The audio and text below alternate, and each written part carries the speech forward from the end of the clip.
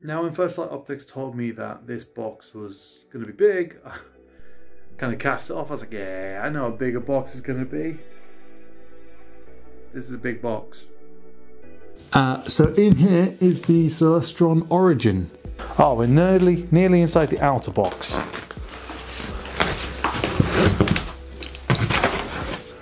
Ah, dear viewer, there has been a second box. Alright. Oh, there's a. Oh.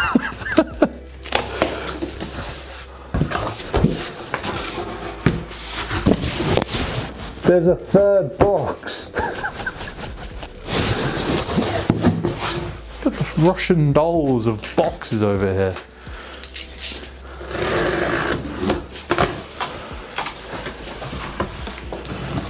Give me your secret. There is a box in this box. Oh my. There's so many boxes. There's so many boxes. I mean, it's not going to be a problem because obviously once I've got everything out, I can just put all the boxes back inside the boxes, but. Uh... Okay. This is. This is literally an empty box. It even says on it empty its packaging box. On this, that tells me what was in every single box. And obviously, I didn't read this because why would I read this? And what we have on the tripod base here is these three fixing points. They're now gonna meet, they're gonna rise up to bolt into the bottom of the Origin mount. Well, here it is then. This is the Celestron Origin. This is a six inch RASA telescope um, operating at f2.2. So pretty fast. And I've seen a lot of nice pictures out of RASAs, like Luca Matico. Oh, he takes so many good photos, and I think he's using a RASA on some of them. I now need to put that onto there.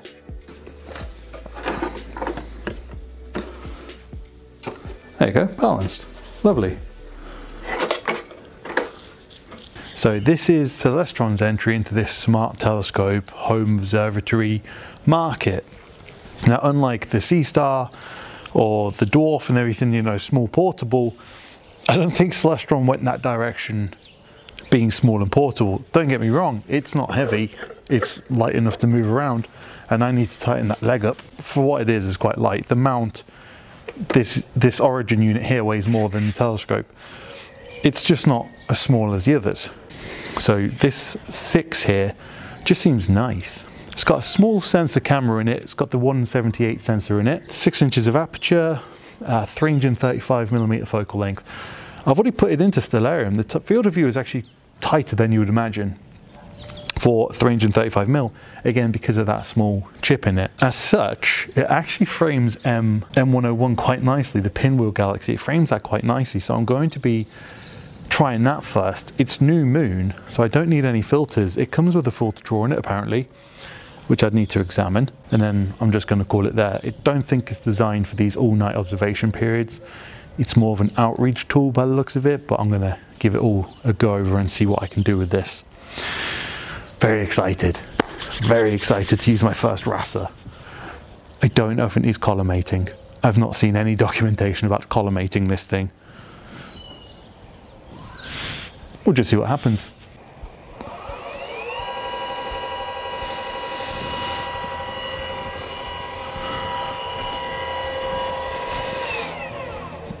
So that was the origin just um, calibrating itself, initializing it says. So what it does, it points itself up, uh, takes a few pictures, makes sure it's in focus, prepares itself. It says here it's now ready to image. So I guess I can just search for something. Uh, let's go for the M45. Not found, okay.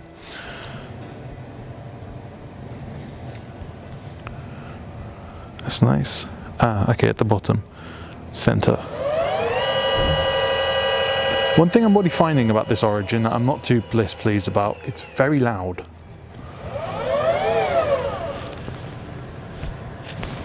Wow, that found that pretty fast, that did. I would get a live display as well. That's really cool. If this is the field of view I'm going to be looking at, ready to image. Okay. Now then, how do I... Near real-time view, start imaging to start a long exposure. Processing image one. So it's going to do the processing in-house as well by looks of it. I can't really see what I'm looking at though. Yeah, let's turn off the night vision. So here's the live stack. That's what that is. There's a live stack there. They're 10 second exposures. That's not too bad, is it? So image and schedule, that. To add an object to tonight's schedule, select it and tap the info button on the chart, then add to tonight's schedule from the object menu. So tap it, add to tonight's schedule, image and schedule, Pleiades. Ah, okay. So I, I can actually run, make a plan then. So I can start on the Pleiades now, and I can tell it to go for a certain amount of time, and what kind of sub exposures I want to go through. Let's try to manual 30 and I guess we'll just leave it as is. Uh, I want you to stop. End. Download and save. I have already set a setting on the uh, origin here to save the raw files as well. So I can obviously then try and edit them myself. I wonder where it's downloading to. Hopefully it's downloading onto either the origin or the memory stick I've put inside of it. So this is the result of that stack. We can see that actually some of the detail is beginning to form, but I really like the red and blue star colors, especially in that little chain at the bottom left of the corner of the image. There is a bit of light pollution showing because unfortunately street lamps were shining directly into the origin. It's just the way that my garden is, unfortunately. To, um, here we go, I'm starting now, aren't I? I'm beginning now. Oh, this is what it feels like. Center on the Orion Nebula, which is right near a street lamp right now. It's not in the great place. Man, this is very loud.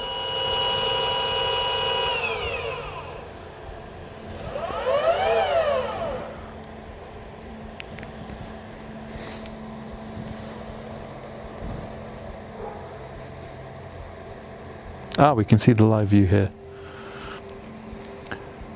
Right, let's look at the live view. Now I want to move it a bit, so show telescope controls.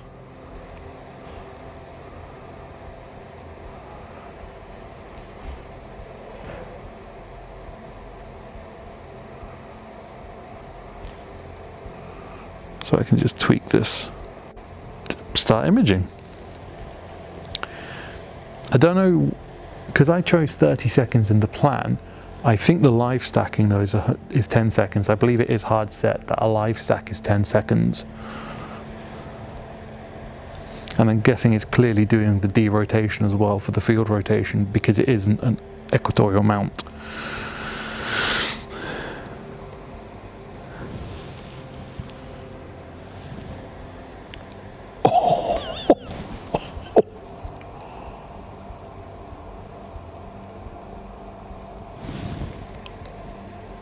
Oh my goodness.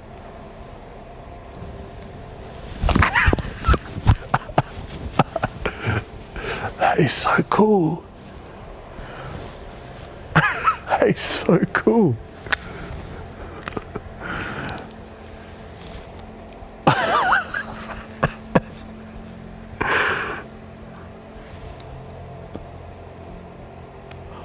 Look at it. I mean, I know it's doing the work and it's got AI in it and all sorts like that, but what the hell?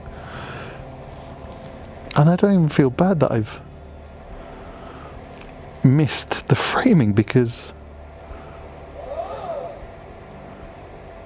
I can just move it. The imaging box could be a little easy to see. Really. And this sky chart is awful to look at. Let's go for that one. Uh, start imaging. And what's also I've seen on the on the manual, you can cast this to a smart TV as well. So you could have your friends around, have this outside, do it in station mode, and then you could just be projecting this onto like a big TV, projector, whatever. That's really cool. Come on, give me the image. Come on. I feel like I'm addicted already. It's like, it's not giving me the picture that I want. Hurry up. Give me it. Alright, while I wait for the Origin to finish its photograph here, let's talk about the file manager. Now at the end of these little auto shoot sessions, you can see it pops up, says download and save. What that is actually doing is it requests the final photo, the one that you'll see on the screen, on the mobile device, it requests that and then downloads a copy of it to the phone that you're using. That way you can immediately share it. But if you actually look into the file manager on the Origin itself, you can see it's actually saving every single target, every single session individually. So I've only demonstrated two Orion Nebulas here so far, but we can see there's three or four entries here. Now, if we double click that and go into those specific folder for the Orion Nebula, what we can also see is all the lights, darks, flats that it's taken for the image. I don't know how it's doing flats, but it's got flat frames. And these are all fits. So you can actually then just take these fits into your own stacking software if you so wished and stack the image yourself again. You can also get a final master stacked image which is unedited.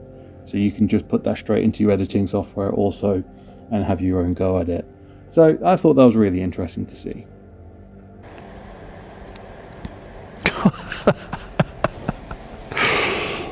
oh, they're so good. That is nuts. I think I need a RASA. Well, I think, I think I've got the hunch already for a RASA. The colours are very saturated. Like there's a lot of vibrance they're pumping into the blue of the Orion Nebula there. But that, for a minute, is cracking. I think I'll just let this run for two minutes. So total integration of 70 seconds. That is so good.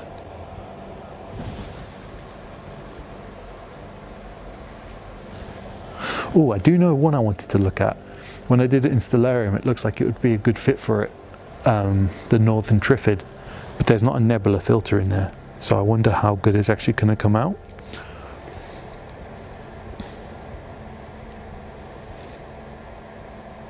I mean, this is just nuts for two minutes. So to begin to wrap this up, let's talk about the cost now. So as you see this here, the origin, as you see here with the RASA 6 and the mount, we are looking at £3,999 at the time of this video. And there are of course extras you could buy for this. So you could get a padded case for the RASA 6 itself, that will cost you £119. You get a nebula filter for it, which you'd want if you want to shoot nebulae. That's going to cost you £199. And then there is a wedge as well that will make this into an EQ. They have said that there's EQ mode planned on the roadmap of development for the Origin. The wedge is going to cost you £436, which means that's a grand total of £4,753 for this. That's expensive. There's no way of cutting that. That's a lot of money. Now, again, they've not targeted this as the small portable telescopes such as Seestars and dwarfs and things like that. They have targeted this as an intelligent home observatory system where you can pop it down, get it going, live captures, cast it to a device, you know, outreach, social, things like that. But it's still a lot of money. In the time I've had the Origin, I've had about six months now, there are improvements I think it needs, especially for this £4,000 price tag such as the Wi-Fi. The Wi-Fi needs a stronger card or a stronger chip in it. I normally set up where I, it is in the garden here. The chair is about a meter and a half away and it would lose signal. And then the, there's no small issue about the motors are so loud in this.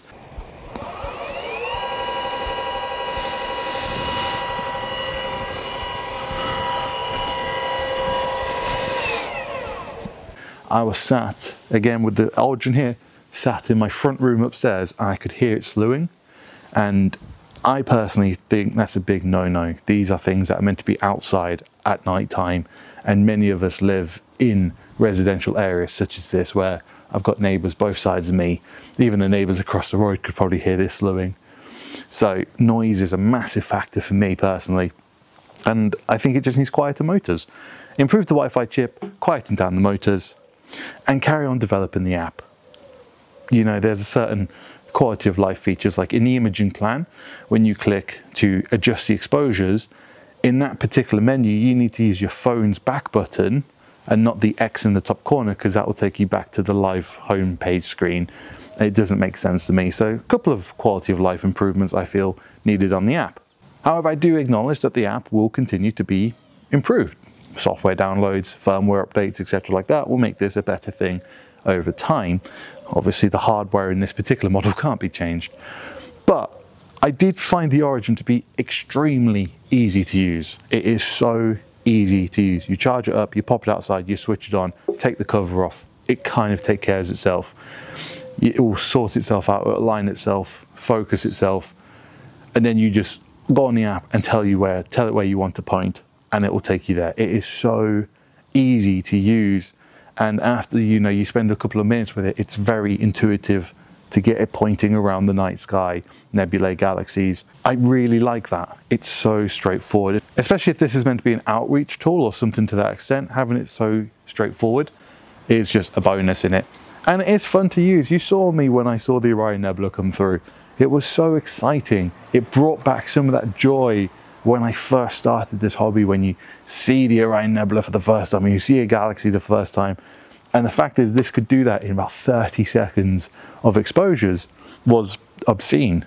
And that is obviously down to the RASA, but also the, the editing that the software was doing in the background. Sometimes the editing looked a bit too AI heavy, like it did too much denoising or anything like that. But I also appreciate it's doing the best with what it's got. If you've only given it 20 seconds of data, well, take 20 seconds of data in your normal shot and have fun trying to edit a photo out of that. You know what I mean? So there are pros and cons. There are just the, the, big things for me are quite big for its price tag, the Wi-Fi card and the noise of it. But you know, that might not bother you. You might be out here all the time or you might set a plan on and go inside or you might live somewhere more rural where the noise isn't as big of a problem. It's down to you to decide if that's non-negotiable for you or not that's my time with the Celestron Origin. I've ran out of time with it. I need to send it back. I had fun using it, apart from the, the previous things I've mentioned. I think the images out of it were good, considering what I had, and it really has tempted me to actually want to possibly get a RASA myself in the future because that was just a lot of fun. So if you want any more information about the Origin, you can click the links in the description down below. And while you're down there, if you enjoyed the video, give it a thumbs up. If you thought I could have done better, give it a thumbs down and consider subscribing for more videos such as this. I'm trying a new review format like, like with this video where a bit of a real-time imaging with a bit of this scripted speaking stuff. Let me know what you feel of that. Thank you in the comments down below. In the meantime, thank you very much for watching. Hope you have clear skies. Keep looking up. Keep them cameras clicking. I'll see you later.